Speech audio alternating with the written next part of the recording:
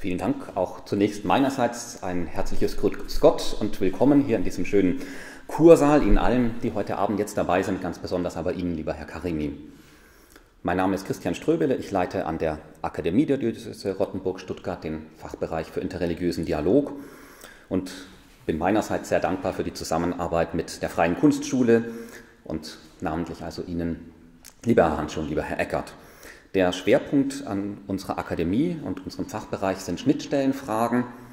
Es sind gesellschaftspolitische Fragen, religiöse Fragen, Fragen, die religionsübergreifend dringlich sind und bei denen wir nur davon gewinnen können, wenn wir sie kooperativ angehen.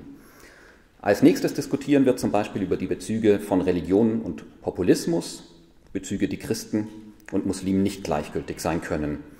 Diese Diskussionen in zwei Wochen in der Akademie stehen im Arbeitszusammenhang des Theologischen Forums Christentum Islam, ein Netzwerk, das wir an der Akademie koordinieren und das dem wissenschaftlich-fachlichen Dialog eine Plattform gibt, seit nunmehr 20 Jahren und das seitdem auch eine ganz außerordentliche Dynamik mitbegleitet hat. Nicht zuletzt deswegen, weil es inzwischen die Fachrichtung überhaupt erst gibt, die Sie, lieber Herr Karimi, vertreten. Sie wurden 2012 zuerst Vertretungsprofessor an der Universität Münster, 2016 dann ordentlicher Professor, am dann eben unter anderem mit Ihnen neu gegründeten Institut für Islamische Theologie. Und Sie haben einmal beschrieben, dass Sie in Ihrem Studium der Philosophie und der Islamwissenschaften in Freiburg vermisst haben, dass man sich mit religiösen Fragen vertieft befasst. Sie können sehr viele Seminare über mauretanische Schlösser besuchen, aber ein vertieftes Auseinandersetzen mit dem Denken der Religion sei wenig anzutreffen, sagten sie. Das haben ihre Studierenden in Münster, in Münster in großer Zahl heute anders und ist natürlich auch ein großer Unterschied, ob man sich mit diesem Denken in der Religion aus einer Außenperspektive befasst oder darin selbst involviert ist. Letztes Jahr haben sie ein großes, ich finde auch großartiges Buch herausgebracht, Licht über Licht. Und darin führen sie eben gerade durch das religiöse Denken im Islam.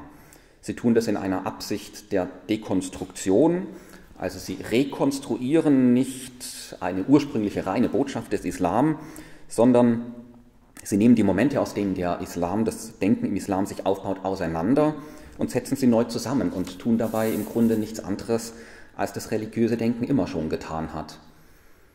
Die Religion beansprucht, sagen sie, an jedem Punkt letztlich völlige Geltung, aber ist zugleich an jedem Punkt nichts als Übergang. Mir scheint, Sie setzen damit auch vielleicht die Fragerichtung Ihrer Dissertation fort. Dort ging es nämlich um Hegel und um Heidegger und um die Möglichkeit oder Unmöglichkeit eines Systemanspruchs, um das Verhältnis von System und Widerspruch, von Versöhnung und Scheitern. Sie bringen immer wieder islamisches und europäisches Denken ins Gespräch, zum Beispiel auch in dem Band Hingabe des Grundfragen, der Grundfragen systematisch-islamischer Theologie behandelt. Und sie treten dabei auch, das klang eben schon an, ins religionsübergreifende Gespräch, am bekanntesten wahrscheinlich mit dem Buch, das Sie gemeinsam mit Anselm Grün herausgebracht haben, im Herzen der Spiritualität, wie sich Muslime und Christen begegnen können. Es geht ihnen darum, sagen sie, im anderen auch einen Geschmack Gottes zu erwarten und dort im anderen auch Gott schmecken zu lernen. 2018 haben sie einen Band herausgebracht mit dem Titel Warum es Gott nicht gibt und er doch ist. Gott gibt es nämlich nicht einfach nur so nicht, wie irgendwelche Dinge in der Welt eben nicht vorkommen, sondern wie sie sagen, Gott ist einfach nicht da. Und sein Nicht-Dasein ist mit einem Ausrufezeichen versehen. Wie steht es dann aber um den Gott, der in keinem Gefäß, in keiner Idee, in keinem Bild einzufangen ist? Diese Frage hat eine Ähnlichkeit zu einer Grundfrage der Ästhetik, jedenfalls dann, wenn Kunst den Anspruch hat, nicht einfach irgendetwas abzubilden, was es in der Welt gibt oder geben könnte, sondern die Welt als Ganze in ein anderes Licht zu setzen oder wie Paul Klee sagt, Kunst gibt nicht Sichtbares wieder, sondern macht sichtbar. Sie sind selbst auch Literat, Sie haben mehrere Lyrikbände herausgebracht, Sie haben auch den Koran in eigener Übersetzung herausgebracht, eine Übersetzung, die in besonderer Weise die ästhetische Qualität des Textes verlebendigt. Und das Ästhetische hat nun eben genau diese besondere Eigenschaft, nicht festzustellen zu sein. Man erfährt es als Ereignis. Und darin, so haben Sie das einmal für mich eindrücklich verglichen, gleicht die Beschäftigung mit dem Koran einem Opernbesuch. Wer eine Oper wie Tosca einmal gesehen hat, ist damit nicht fertig. Sie gibt mehr zu denken, als wir verstehen, aber wir verstehen auch mehr, je mehr wir uns befassen und es reicht nicht, die Partitur nur zu lesen, man muss dabei sein. Lieber Herr Karimi, danke, dass Sie heute Abend mit bei uns sind. Sie haben einen weiten Weg, Sie sind viel gefragt, Sie müssen auch morgen früh bereits wieder bei einem Anschlusstermin sein, darum werden Sie auch pünktlich um etwa Viertel nach acht hier wieder aufbrechen müssen, aber bis dahin sind Sie hier bei uns. Ich freue mich sehr darüber, wir sind gespannt auf Ihren Vortrag zur Spiritualität und Schönheit im Islam. Lieber Herr Karimi, vielen Dank, dass Sie dabei sind, dass Sie heute Abend mit uns diese Themen bedenken und Sie haben jetzt gleich das Wort. Vielen Dank.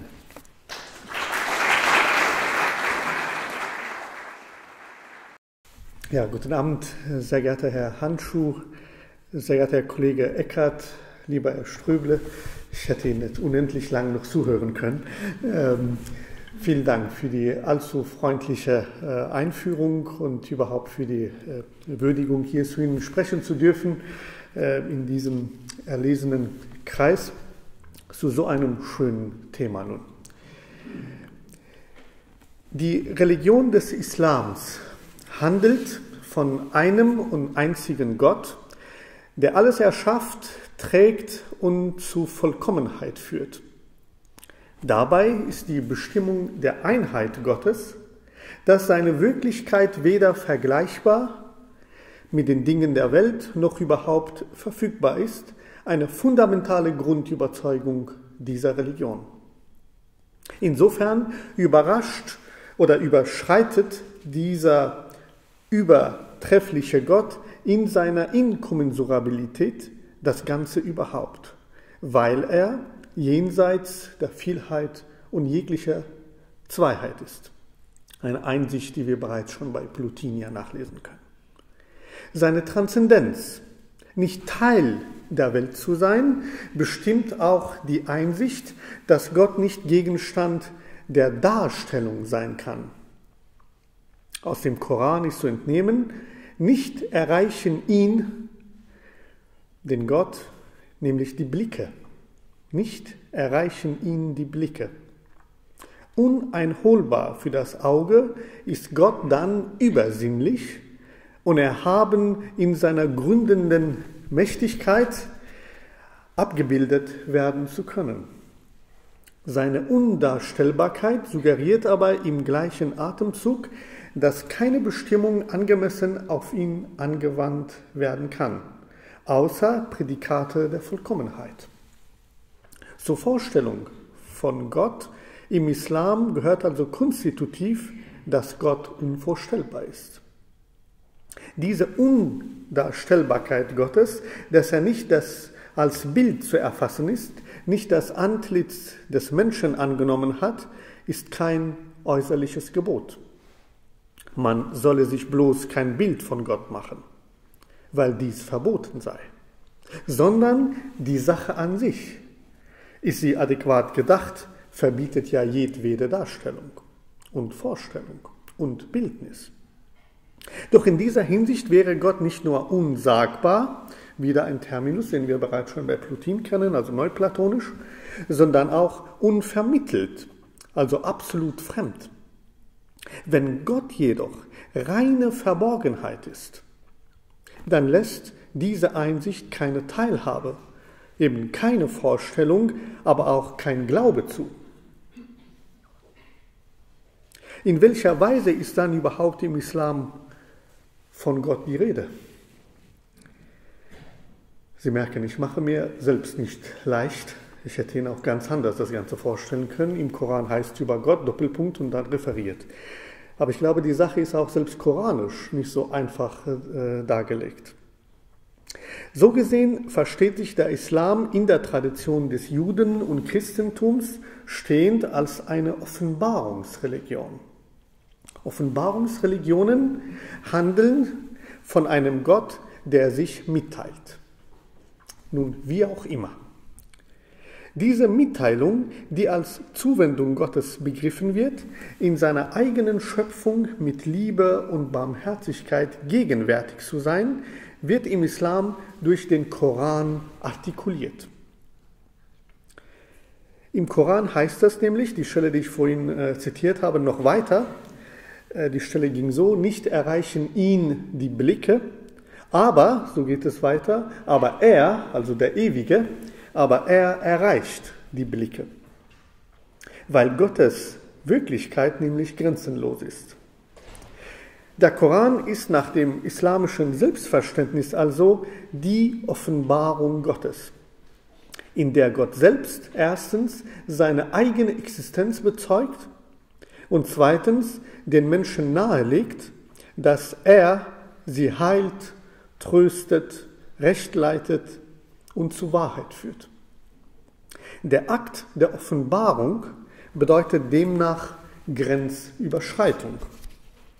Die reizvolle Frage dabei ist, wie diese Grenzüberschreitung, diese Entschleierung Gottes, dass er sich in irgendeiner Weise in die Vorstellung erhebt, denkbar ist, ohne jedoch seine erhabene Einheit zu verletzen.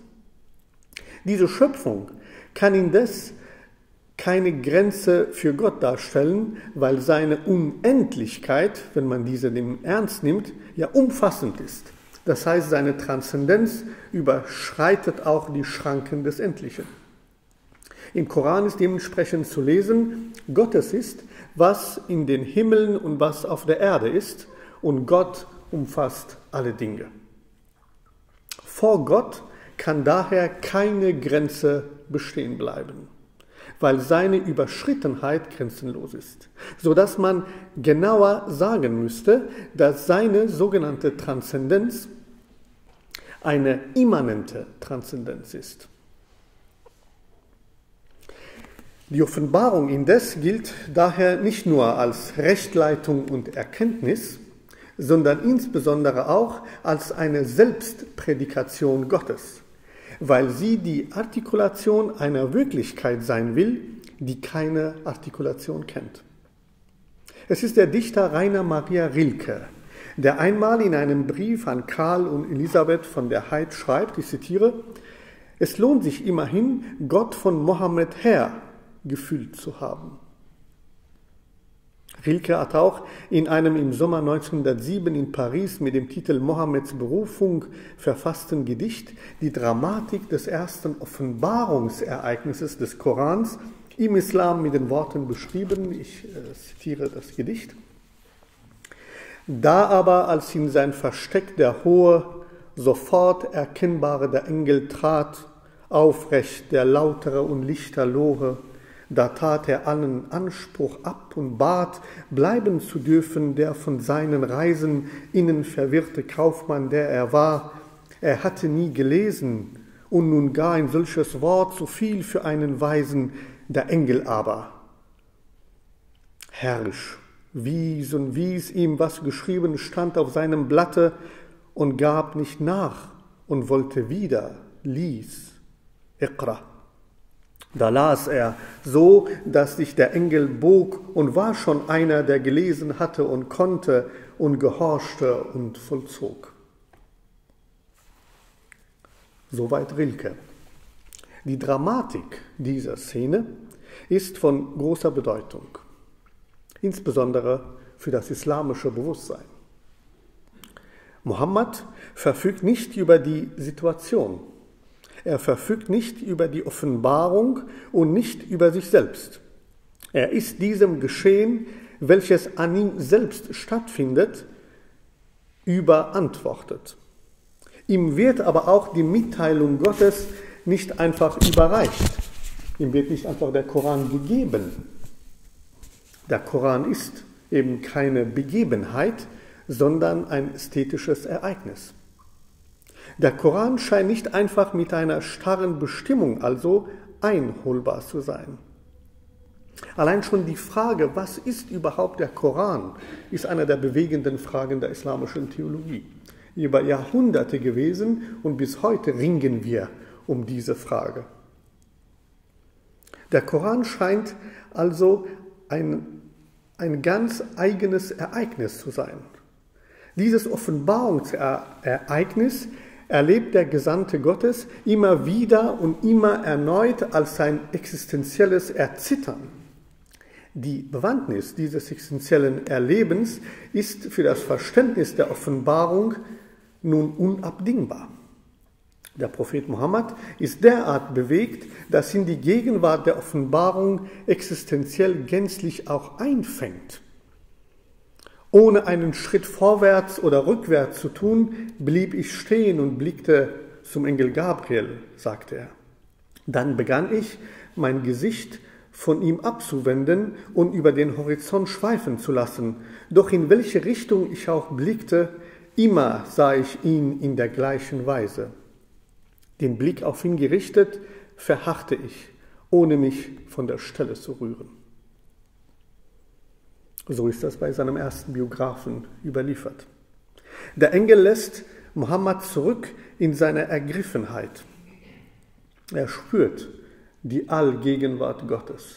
Er will fliehen eben vor den Erscheinungen des Engels, aber egal wohin er sich auch hinwendet, ist das Antlitz Gottes das er durch den Engel Gabriel vermittelt bekommt. Es gibt eben kein Außerhalb. Es gibt kein Entrinnen vor Gott. Der Koran wird also nicht in einem Zug offenbart. Vielmehr sollte er fortan für ungefähr 23 Jahre in Mekka und Medina unregelmäßig, in unregelmäßigen Abständen auch äh, zum Gehör gebracht werden. Und bereits zu Lebzeiten Muhammads gab es Personen, die den koranischen Vortrag im Gedächtnis bewahrten und darüber hinaus zahlreiche Verse auf direkte Anweisung des Propheten niederschrieben. Aufgezeichnet wurden die Teile des Korans vor allem auf Papyrus, Zetteln, Palmstängel und Knochen. Und das Niedergeschriebene diente aber ausschließlich als Gedächtnisstütze denn die mündliche Überlieferung besaß insofern den absoluten Vorrang, als die Mündlichkeit den wesentlichen Charakter des Korans in der gegenwärtigen Form ja, also in, äh, Korans repräsentiert. So ist es auch zu erklären, dass nach dem Tode des Propheten der Koran in der gegenwärtigen Form noch nicht existierte.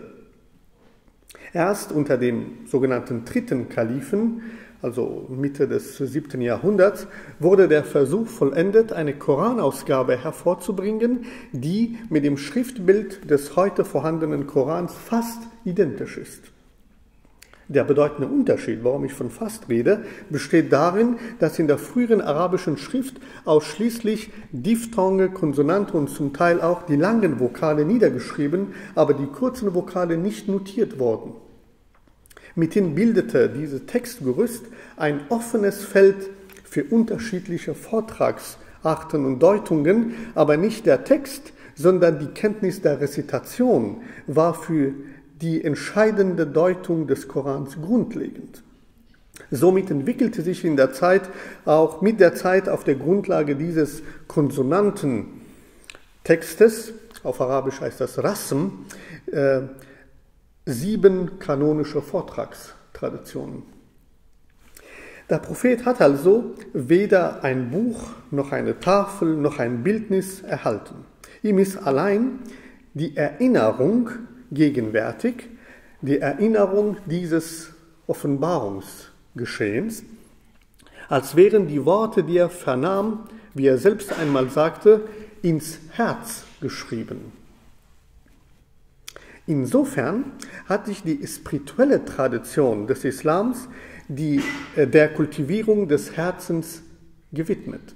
Sie müssen sich vorstellen, diese große Tradition der Spiritualität ist im Grunde genommen, egal wie unterschiedlich sie auch sein mögen, und sie sind sehr unterschiedlich und vielfältig und ambig, trotzdem haben sie eine großartige gemeinsame Aufgabe. Und die Aufgabe besteht darin, sich um das Herz des Menschen zu kümmern. Im Grunde genommen gerade sich diesen, dieser Form, diesen Ort, der kein Ort ist, diesen Zustand zu widmen, zu kultivieren, zu erziehen, diese subtiler zu machen, Menschen in Berührung mit seinem Herzen zu bringen, weil gerade dort alles geschieht, was wir als das Göttliche, das Heilige auch begreifen. Und da ist eine Vielzahl von auch prophetischen Aussagen vermittelt, die genau dies auch unterstreichen. Unter anderem das Herz ist das Haus Gottes zum Beispiel oder auch die Bedeutung des Herzens dort, wo wir unsicher sind, wie wir handeln sollen zum Beispiel. Also als Maßstab und als Maxime äh, der Rechtleitung. Frage dein Herz, sagt der Prophet, und das dreimal in Folge. Spiritualität bedeutet also aus islamischer Perspektive, um es ganz äh, überspitzt zu formulieren, aus dem und im Herzen zu leben. Dieses Leben gründet in Sehnsucht, nicht über Gott, seine Offenbarung oder das Leben zu verfügen. Wir können in einem Dialog aus verschiedenen Traditionen auch aufeinander zugehen, zueinander kommen oder uns begegnen. Aber in Wahrheit begegnen können wir uns nur als Sehnsucht und Sehnsucht, als Weg und Weg. Nicht zwischen zwei Buchdeckeln, sondern im Menschen, im Herzen ist der Koran bewahrt, so dass derjenige, der den Koran gänzlich memoriert, auch als Bewahrer oder Bewahrerin, Hafiz des Korans auch gilt.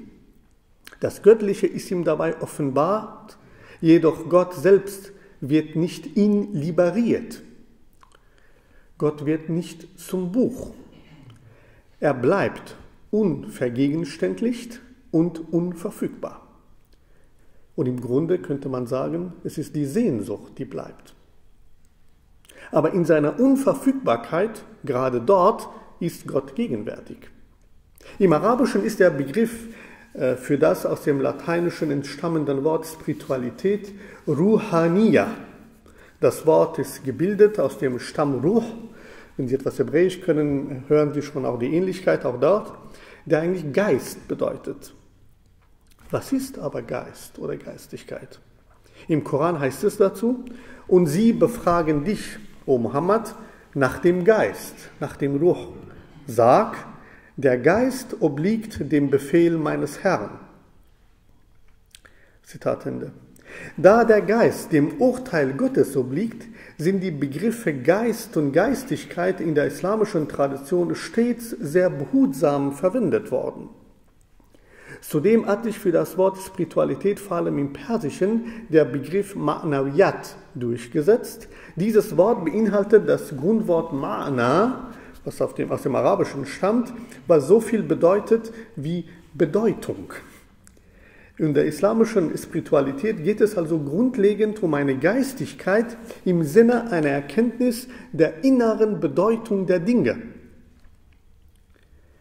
Die Intention dabei ist, das Antlitz Gottes im Antlitz der Welt zu sehen.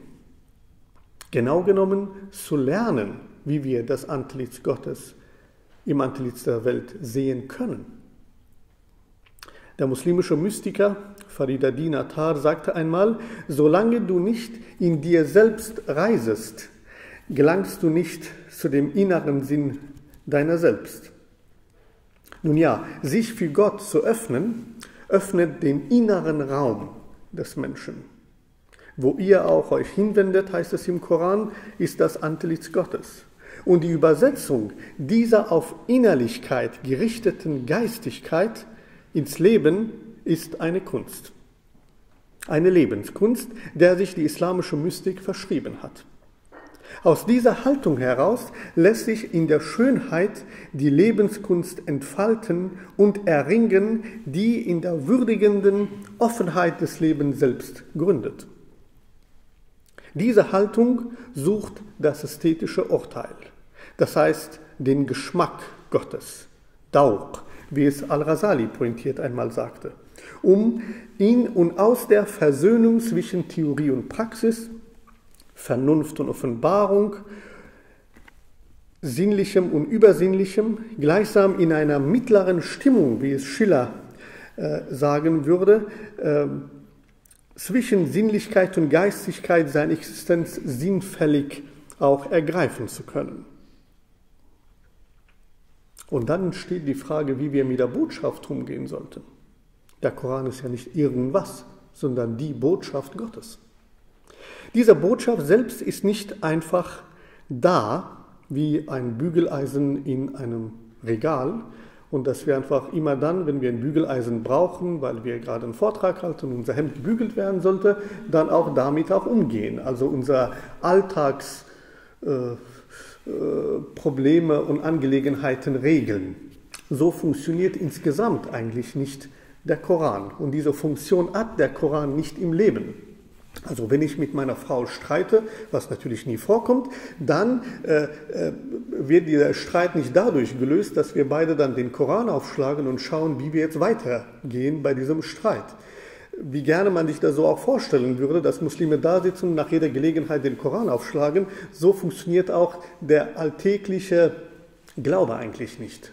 Diesen, äh, diese, diese Bezugsetzung zum Koran ist eigentlich schlicht falsch sondern der Koran hat eine erhabere Bedeutung im Leben, eine tröstende, eine tragende. Und die meisten Muslime auf dieser Welt heute ähm, verstehen nicht einmal äh, Arabisch, obgleich der im Klang Arabisch schon Koran äh, für sie unglaublich bedeutend ist. Das hat einen frommen, heiligen Charakter. Das heißt, ohne es zu wissen zunächst einmal, was sie da vortragen, hat der Koran eine berührende, tragende, heilige Bedeutung.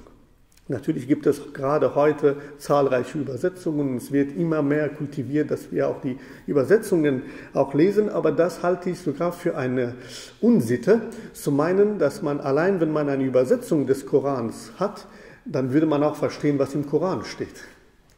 Äh, das ist gerade nicht der Fall, sondern der Fall ist gerade, dass wir mit einem Text zu tun haben, der zwar den Anschein erweckt, einfach und selbstverständlich zu sein, aber dieser Text ist alles, aber nicht genau das. Das heißt, wir müssen uns um diesen Text auch kümmern, und sozusagen uns öffnen für den Text und den Text öffnen für uns. Wie wir sonst auch mit Texten umgehen. Sie können ja auch nicht Homer einfach aufschlagen und lesen oder Hegels Phänomenologie des Geistes. Das heißt, Sie brauchen Hinführung, Sie brauchen historisches Wissen, Sie brauchen philologisches Wissen, philosophisches und so weiter. Das heißt, so gehen wir immer mit Texten um. Und der Koran ist auch ein Text. Das heißt, wenn Sie den Koran dann aufschlagen, weil irgendjemand Ihnen auf der Straße irgendwie gratis eine Koranausgabe gibt, mit der naiven Idee, wenn Sie den Koran dann schon lesen in Übersetzung, dann werden Sie dann zum Islam äh, äh, sich äh, finden. Genau das funktioniert nicht. Und schon gar nicht für die Muslime selbst. Was tun wir also? Der Koran ist sprachlich und darin auch ästhetisch vermittelt. Dieser Koran ist im Vortragsstil verfasst. Er wird rezitiert. Rezitativ ereignet sich dabei der Akt der Offenbarung, der sich immer wieder und immer erneut in die Wirklichkeit der Menschen als Offenbarung einschreibt. Und das gehört sozusagen zum faktischen im gläubigen Leben. Wir lesen dieselbe kleine Sure, so heißt in der einzelnen Kapitel des Korans, immer wieder. Und zwar immer mit der erneuten Erwartung, dass die Sure, die wir bereits schon auch auswendig können und in unserem alltäglichen rituellen Gebet ständig auch vortragen, uns etwas Neues sagt. Es ist nicht ein langweiliger Text, den ich bereits schon kenne, weil dieser Text ein Informationstext ist. Sondern der Koran hat sozusagen, der Bezug zum Koran besteht gerade darin, dass ich mich immer wieder ergreifen lasse, immer wieder herausfordern lasse von einer Instanz, über die ich nicht verfüge. Und das ereignet sich dann auch immer anders. Also der Koran wird auch anders verspürt und anders ähm, bewegt auch, auch die Menschen, auch in, im einfachen Alltag der Religiosität. Die Verschriftlichung des Korans, die selbst eine eigene ästhetische Ausdrucksform der Kalligraphie gewonnen hat, ist deutlich später zu datieren zumal die ersten Verschriftlichungsdokumente keinen Eigenwert besaßen, sondern als, sondern als äh, wie auch schon vorhin erwähnt, Gedächtnisstütze für die Rezitation fungierten.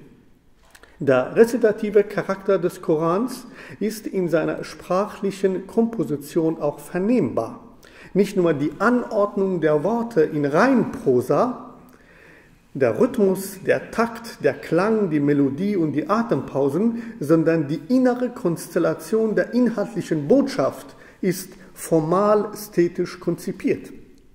Der Sinn der Botschaft ist sinnlich eingeholt, sodass die Trennung von Form und Inhalt für den Koran eigentlich unmöglich ist. Und ich als jemand, der viel vorträgt und viel mit Menschen redet, werde immer wieder mit der Frage konfrontiert, was steht aber im Koran? Und noch nie bin ich mit der Frage konfrontiert worden, was steht im Koran wie?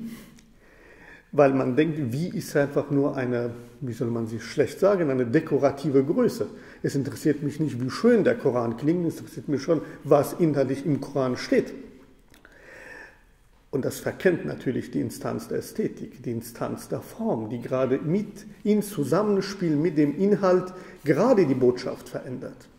Also die Weise, wie ich auch einen Inhalt formuliere, ist abhängig davon, in welcher Form ich sie auch formuliere. Wenn ich zu meiner Frau sage, ich liebe dich, das ist doch die langweiligste, äh, zu oft formulierte Aussage, die eigentlich nichts mehr bedeutet. Das ist einfach nur kopiert. Wie oft haben Menschen sich gerade diesen Satz in der Konstellation gesagt? Das heißt, die Wiederholung dieser drei Worte in dieser Form, die unglaublich bedeutsam sein soll, füllt und erfüllt nicht das, was eigentlich die Botschaft sein will. Aber drehen Sie mal den Satz einmal um und sagen Sie, dich liebe ich. Und schon knistert, nicht wahr? Sie lachen schon. Es tut mir leid für Sie. Äh, äh, äh, und gerade weil diese Form von, von, von Sagen, was eigentlich nichts anderes gesagt hat, außer diese äh, dieselben Worte im Grunde genommen in einer anderen Reihenfolge, ähm, verändert die Botschaft, intensiviert die Idee. Und der Koran lebt von dieser Form der Vermittlung.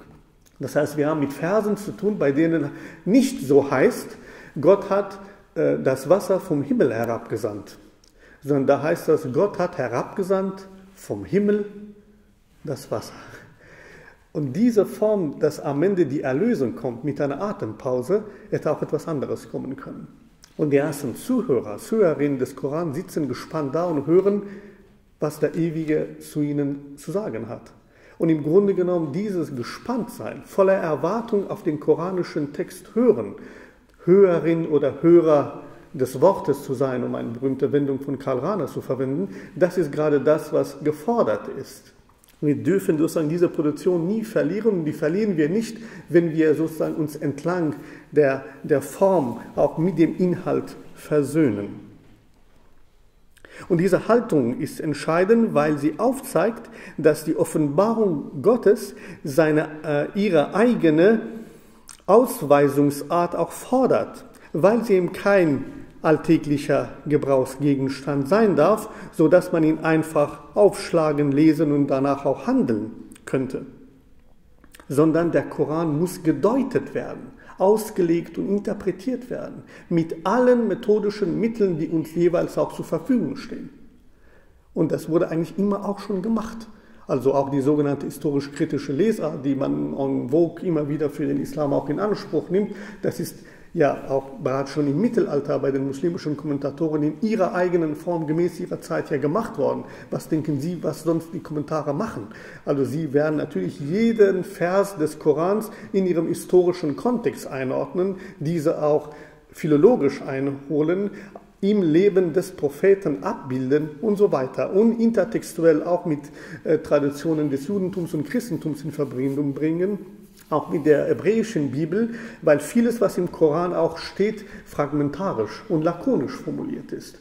Was äh, Muslime, wenn sie nur den Koran hätten, wären sie unglaublich arm dran, ohne die bleibende Bezogenheit äh, zu zur Torah und zum Evangelium, weil sie alle im Grunde genommen auch koranisch gedacht zusammengehören.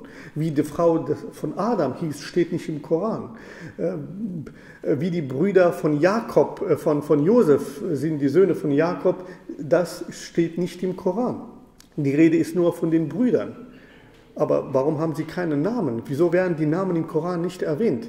Und die Antwort finden sie in der Bibel sozusagen die Antwort dafür, warum der Koran dies verschweigt, weil der Koran kein Interesse hat, das noch einmal zu wiederholen, was bereits ohnehin schon in der Bibel war, sondern die gleiche Geschichte wird noch einmal erzählt mit einer eigenen Akzentuierung, mit einer eigenen sozusagen eigenen Ästhetik, mit einer eigenen intensivierten Botschaft. die allein intertextuell sich dann auch eröffnet und auch in dieser Tragweite für uns auch gangbar wird. Die Deutung selbst ersetzt aber natürlich nicht den Koran. Sie bleibt allein eine Deutung, die neben sich andere Deutungen zulassen muss, insofern sie in einem Wettstreit der Plausibilitäten auch standhalten äh, will. Die Formästhetik des Korans bildet deshalb seine Botschaft ab, weil der Duktus des Korans nicht monoton und eindimensional verfasst ist. Weder lässt sich der Koran auf eine Kernbotschaft zurückführen, noch ist die Anordnung der Themen systematisch, chronologisch oder gar historisch aufgefächert. Also selbst wenn Sie mich fragen würden, was ist die Kernidee des Korans? Und genau das ist nicht zusammenfassbar. Und das haben nicht alle große Werke. Und Sie können auch nicht Hegels äh, Seinslogik zusammenfassen. Es, es, geht deshalb nicht, weil sonst würde er ja genau die Zusammenfassung Ihnen vermitteln. Also äh, es gibt keinen Koran im Koran. Und die Idee auch, äh, der Koran wäre ein Diktat Gottes. Äh, das ist einfach faktisch falsch, weil im Koran kommen viele Protagonistinnen und Protagonisten zu Wort. In gewisser Weise zitiert von Gott selbst, aber sie sind da. Also sie hören, wie der Teufel spricht, sie hören, wie Maria spricht, sie hören, wie Jesus in der Wiege spricht, sie hören, wie Moses spricht, wie der Vater von Abraham spricht und so weiter. Sie haben eine Vielzahl von Sprecherinnen und Sprecher, die alle im Koran miteinander sozusagen in einem großen Gespräch sind. Das heißt, wenn man auch in einer Auslegungskunst, in eine Hermeneutisch da dran geht und versuchen will, sozusagen den Koran auf Gott zurückzuführen und sagen, das ist eigentlich das Wort Gottes, das ist genau das, was islamische Theologie auch wissen will, aber ein Wort Gottes, was selbst viele andere Worte in sich internalisiert hat. Also, wie können wir also auch in diesen ästhetischen ähm, offenen, weiten Form der, äh, der Bezugnahme zum Text, zur Offenbarung und zu Gott, von Gott etwas wissen. Dieser Gott ist das natürlich jenseits aller Bilder und jenseits aller Darstellungen. Seine Undarstellbarkeit ist nicht einfach nur Verweigerung, Gott will einfach nicht, dass wir ihn erkennen. Die Offenbarung Gottes ist in der Tat, hm, ist selbst die Tat des ewigen Selbst seine Undarstellbarkeit darzustellen. Diese Darstellung des Undarstellbaren ist kein Bildnis, sondern Erleben, Erkenntnis, Geschmack Gottes, dass Gott mit uns ist, wo immer wir auch sind. Im Kern ist der Koran also dialogisch verfasst, indem es dabei auch um das Ereignis des Hörens und Sprechens geht. Und da sind auch einige Dialoge, wie gesagt, auch dort aufgenommen worden. Zum anderen will der Koran den Menschen auffordern, auffordern, indem er sich der Sprache seines äh, äh, Adressaten auch bedient. Der Koran ist nämlich auf Arabisch. Und Gott spricht natürlich kein Arabisch, weil Gott es erhaben darüber überhaupt eine Sprache zu sprechen und schon gar nicht allein schon Arabisch, sondern wenn er spricht, dann würde er dann alle Sprachen sprechen. Und ob er überhaupt spricht, so wie wir sprechen, verstehen, das wurde in der islamischen Theologie natürlich kontrovers und sehr feinfühlig auch diskutiert. Aber was ist sozusagen die Intention dahinter? Die Intention dahinter ist meines Erachtens, dass wir uns im Ringen mit dem Koran zu einer eigenen Sprache selbst ähm, verhelfen müssen. Und zwar womit? Mit unseren Fragen, mit unserem Zweifel, mit unserem Hadern und unserer Hoffnung. Im Grunde genommen ist der Koran eine Ansammlung von Antworten, deren Fragen nicht mitgeliefert sind. Und wir haben immer beim ersten Lesen den Eindruck, man wüsste, wenn man einen Vers liest, auf welche Frage dieser Vers eine Antwort ist. Und das ist eben auf den ersten Blick so. Ohne den historischen Kontext zum Beispiel haben wir nur erdichtete Fragen, sondern wir müssen sozusagen aus dem Kontext heraus überhaupt die Frage erlernen, wozu sich der Koran auch hier verhält. Im Koran heißt es, nah bin ich, ich höre den Ruf des Rufenden, wenn er mich anruft. Er ist also nicht jenseits von mir, sondern er ist da. Wenn Glauben, Atmen mit Gott bedeutet, dann besteht der spirituelle Weg des Islams darin, mit jedem Atemzug die innere Dunkelheit und Schwere in Licht und Leichtigkeit zu verwandeln. Gott wird daher nicht verstanden als eine Instanz außerhalb der Welt, sondern als Textur der Wirklichkeit, mir näher als meine eigene Halsschlagader, als das gegenwärtige Nichts inmitten von allem. Daher wird Gott selbst zur Sehnsucht, auf die hin ich mein Leben ausrichte. Gott ist Sehnsucht. Mir geht es um ein Leben, um ein geistiges Leben, das Gott vergegenwärtigt, der mich tröstet, der mich trägt, der mich zum Guten leitet und der mich zu meiner Wahrheit führt. Und zu dieser Wahrheit gehört auch, dass ich scheitern darf, dass ich fehlbar bin, dass ich in meiner Begrenztheit, meiner Behinderung, meiner Endlichkeit angenommen und geliebt bin. Gott ist unvorstellbar jenseits aller Bilder, jenseits aller Namen. Gott ist daher mir nicht verfügbar als ein funktionierender Gott, den es nur dann geben kann, wenn alles so läuft, wie ich es mir vorstelle. Der dafür da ist, um meine Wünsche in Erfüllung zu bringen. Der Dialog mit Gott, so vor allem die spirituelle Tradition des Islam, vollzieht sich nicht in Form von Ich und Du, sondern allein als Du, als ein unbedingtes Du, dass mein Ich-Sein, meine Perspektive, ein Gegenüber von Gott zu sein, durchkreuzt und aufhebt. Indem er mich seinem Du erhebt, das unaufhörlich in Bezug auf Gott ist. Und der Weg zu Gott ist der Weg, in dem ich von meinem Ich zugunsten einem Du, das ich selbst bin, ablasse. Ein Du zu sein heißt, allein nicht einsam zu sein. Der Ruf nach Gott, der mit vielen Eigenschaften und Namen im Koran aufscheint, wird ebenso ästhetisch bestimmt. Sag, ruf Gott an oder ruf den Barmherzigen an, wie ihr ihn anruft, sein sind die Namen die schönsten. Sein sind die schönsten Namen, weil die Wirkweise Gottes, womit er in seinen vollkommenen Eigenschaften für die Menschen artikulierbar wird, Ausdruck seiner Schönheit ist. Deshalb erinnert der Prophet, der selbst als ein Vorbild an Schönes im Koran bezeichnet wird, Gott ist schön. Diese Prädikation darf zunächst verwundern, denn die Frage ist, wie es möglich, dass ein erhabener und gerade übersinnlicher Gott als schön bezeichnet wird.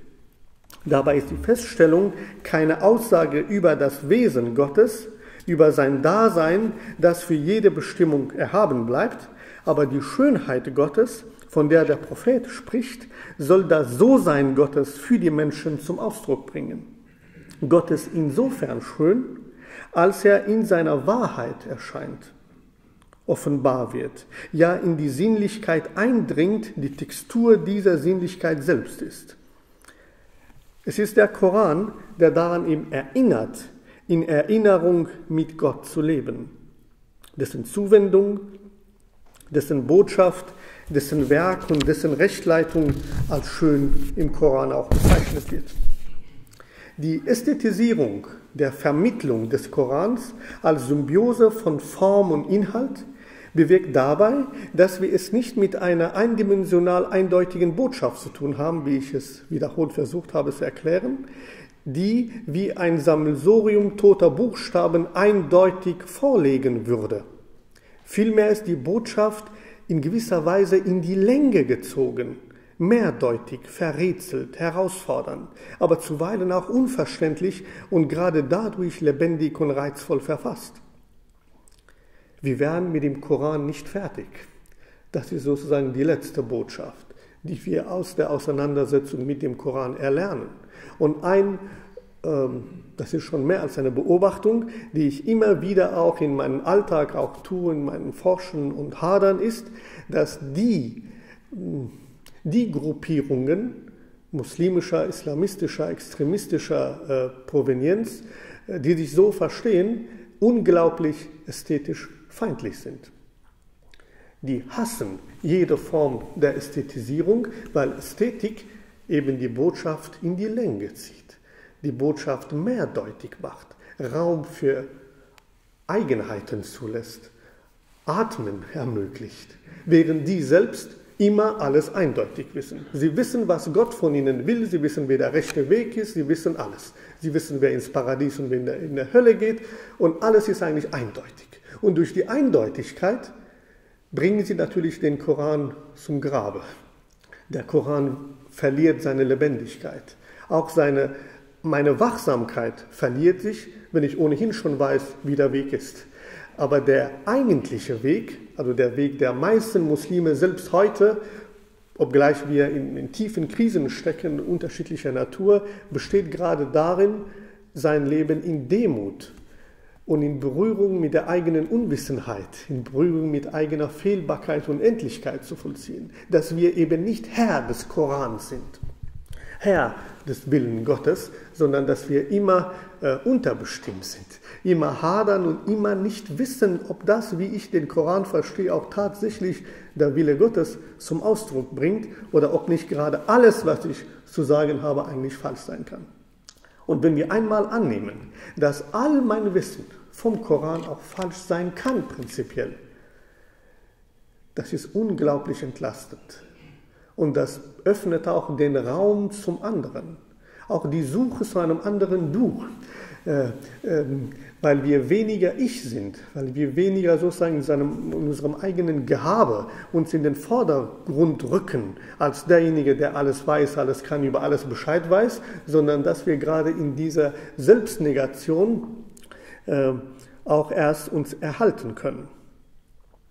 Weder die Offenbarung als solche noch die in ihr enthaltenen Inhalte, Ermahnungen, Erzählungen, normstiftenden Verse, philosophischen und theologischen Gedanken können als reine Information, als gegebene Regelwerke, als eindeutige Botschaften angenommen werden. Das kann für keine einzige Stelle, selbst da, wo wir sonst sicher sind, das ist doch unverrückbar, sagen wir, dass es nur den einen Gott gibt.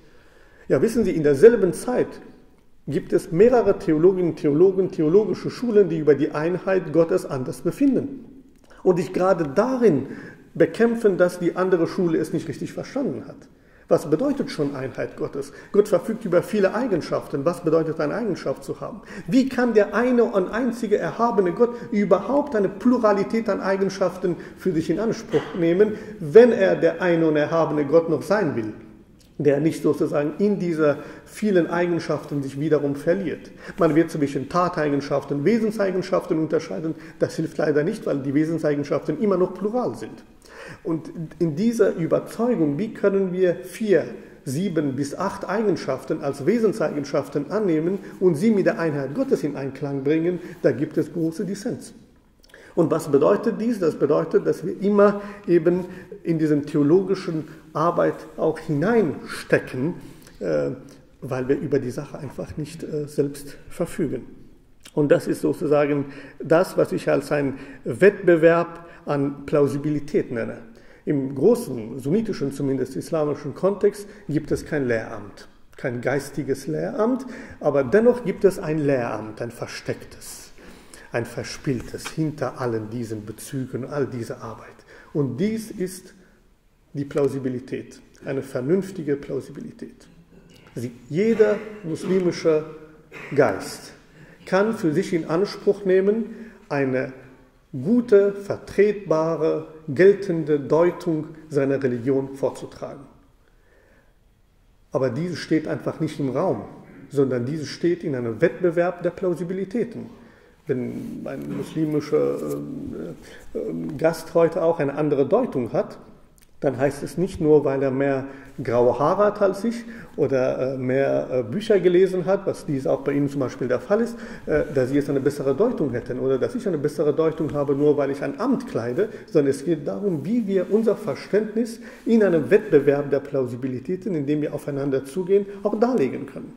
In Verantwortung vor den Quellen, in Verantwortung vor Verständigung und Kommunikabilität. Und das war sozusagen gang und gäbe islamischer kultivierten Tradition. Alles war gestattet, sobald sie gute Gründe dafür haben. Es gab Methodenstreit zwischen den Rechtsschulen, es gab auch begriffliche theologische, logische Streit auch zwischen den, den Glaubensschulen. Äh, und das war unglaublich reizvoll, sodass die Fundamentaltheologie auch im islamischen Kontext eigentlich Kontroverstheologie heißt, Ilmul Kalam. Das heißt, in dieser Kultur des, des Streits entwickelt sich das, was äh, zu gelten hat. Die hier also artikulierte Offenheit der Offenbarung nimmt den Koran als ein offenes Kunstwerk auf. Der Koran als Werk kann deshalb als offenes Kunstwerk gelten, weil seine Wahrheit, die er beansprucht, Erscheinung ist. Und das ist nichts anderes als Schönheit. Im Koran wird daher mit einem ästhetischen Imperativ gefordert und folgt dem Schönsten, das zu euch herabgesandt von eurem Herrn. Aber ohne genau zu identifizieren, was genau diese Schöne ist. Man hätte noch erwarten können, folgt dem Koran. Aber hier heißt es, folgt dem Schönsten. Das heißt, es ist eine grundlegende Offenheit dafür auch hier hineingeschrieben, nach dem Schönen zu suchen. Auch natürlich weiter ethisch formuliert, auch das Schöne zu kreieren für die Schönheit gerade zu stehen. Vielleicht Schönheit in einer, wenn Sie es auch in einer ganz primitiven Form der Deutung nehmen, was nicht vom Schauen kommt, sondern vom Schonen, also dasjenige, was wir nicht verändern wollen, sondern bewahren wollen. Der Begriff der Spiritualität ist seit einiger Zeit bereits natürlich sehr auch inflationär gebraucht. Daher muss man da auch etwas Vorsicht walten lassen, wovon wir hier reden. Aber dennoch gibt es eine innere Geistigkeit dieser Tradition, die äh, auf das äh, Wesentliche hin geordnet ist. Also den Blick für das Innere, das Blick für das Wahre zu öffnen. Gott liebt die Schönheit, heißt es bei den Propheten, und im Koran heißt Gott liebt die schön Handelnden. In allem Schönen ist nämlich das Antlitz Gottes zu erblicken, weil zur ästhetischen Pflicht, zur Sehnsucht des Lebens gerade dies gehört. Somit begegnen wir unserer Endlichkeit in Schönheit und sehen uns in ihr getragen, weil allein die Schönheit in der Offenheit auch Erlösung versprechen kann. Gott liebt die Schönheit. Ihr artikuliert sich eine zentrale Einsicht im Islam, dass der Mensch die Nähe Gottes zweifach erringt, indem er sich der Schönheit verschreibt, weil zum einen der ewige Selbst ja die Schönheit für sich in Anspruch nimmt und zum anderen die Liebe zur Schönheit eine Eigenschaft Gottes darstellt. Und diese Doppelhaltung ist das, was eigentlich zu der schönen Tradition des Islams auch gilt. Das heißt, das zu erblicken, Schöne, ist nicht einfach nur anbetungswürdig, vielmehr verweist es auf den unübertrefflich Schönen, den Gestalter, den Bildner, wer der Koran auch Gott zu bezeichnen weiß. Und die Bedeutung und der Stellenwert des Bildes, der Abbildung im Kontext des Islams scheint umstritten zu sein. Klar zu konstatieren ist dabei, dass der Koran keine explizite Bildtheorie zum Beispiel kennt. Auch die Idee, dass es Bilderverbot gäbe, ist in dieser Form eigentlich kaum vertretbar, weil der Koran keine Bildtheorie hat, sondern es geht immer darum, was wir meinen, wenn wir sozusagen von einem Koran reden, der selbst Bilder produziert und immer Bilder über Bilder, Bild über Bild auch alles auch geschehen lässt. Im Mittelpunkt der jeweiligen ablehnenden äh, auch Haltung zur Abbildung und zum Bild steht immer die Sorge um eine adäquate Durchführung der religiösen Praxis. Bilder als Hindernis, Bilder als Ablenkung, Bildner als jemand, der sich anmaßt, Gott auf Erden zu spielen. Lebeweisen darzustellen sei nichts anderes als den heiligen Akt der Schöpfung nachzuahmen. So sind die gängigen Argumente. Nicht das Bild als Bild ist also unerwünscht, sondern das, was ein Bild symbolisiert. Doch genau das ist nicht objektivierbar. Darüber können wir nicht verfügen. Was wir mit einem Bild machen, wie wir aus einem Bild uns affizieren lassen. Hier waltet kein Bilderverbot, sondern unendliche Bilder, die jenseits der Bilder unabschließbar ein Bild Gottes entwerfen, um es wieder aufzuheben, da es ein neues provoziert. Bild über Bild. Was bleibt, ist natürlich die Sehnsucht. Sehnsucht nach mehr Bild, denn der Prophet Muhammad hat etwas Bedeutendes gesagt einmal, womit ich schließe. Gott hat allen Dingen die Schönheit eingeschrieben. Vielen Dank für Ihre Aufmerksamkeit.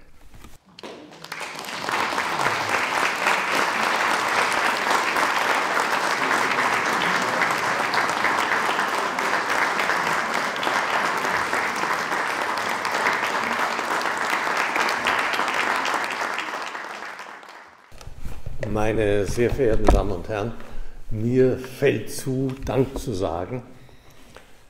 Das ist sehr leicht für mich. Mein Dank gilt zunächst Ihnen, Herr Karime, für Ihren mit vielen Details gespickten Vortrag, der uns in der islamischen Theologie einiges an Informationen vermittelt hat über das, was Spiritualität sein kann. Sie haben zu Recht gewarnt vor dem Begriff der Spiritualität, dass er ganz schwierig äh, zu fassen sei und inflationär ja auch heute gebraucht wird. Dem stimme ich zu. Sehr gefallen hat mir Ihre Formulierung, Spiritualität sei Sehnsucht, sei mit dem Begriff der Sehnsucht zu fassen. Und ich würde meinen, und ich hätte viele Fragen, dass ich da einen Bogen herstellen lassen könnte zu Ihrer Formulierung, die natürlich schon zeigt, dass Sie auch mit Heidegger sich lange beschäftigt haben über Ihr Gottesverständnis im Islam. Heidegger hat das ja mal so formuliert, die Abwesenheit Gottes ist eine Weise seiner Anwesenheit. Ich glaube, das bringt im Begriff der Sehnsucht die Spiritualität zum Ausdruck. Und da haben wir dann den Bogen in die Kunst, sehe ich, und in die Schönheit. Folgt dem Schönen, heißt es ja in der Sure. Und sie haben dann an einer Stelle formuliert, ich weiß nicht mehr ganz genau, äh, wie sie das äh, genannt haben, aber ich glaube es verstanden zu haben in die Richtung, die zugespitzte Sinnlichkeit der Schönheit wird es sozusagen die Präsenz Gottes enthalten. Da hat man wieder den Zusammenhang, so habe ich das verstanden, da hat man wieder den Zusammenhang zur Sehnsucht, zur Spiritualität. Und in der Kunst ist ja dieser Zusammenhang, darauf haben Sie öfter hingewiesen, von Sinnlichkeit und Sinn wiederzufinden, wie es in der Schönheit Gottes ist. Die zugespitzte Sinnlichkeit ist sozusagen die Weise, in der die Sinnlichkeit nach dem Sinn sozusagen sucht und die Schönheit als die Vermittlung von Sinnlichkeit und Sinn, die Anwesenheit Gottes in der Weise, in der sich die Schönheit eben auch entzieht. Nochmal ganz herzlichen Dank, Herr Karime, für Ihr Kommen. Ich wünsche Ihnen einen guten Nachhauseweg und würde mich freuen, bald wieder von Ihnen zu hören. Danke. Vielen, vielen Dank.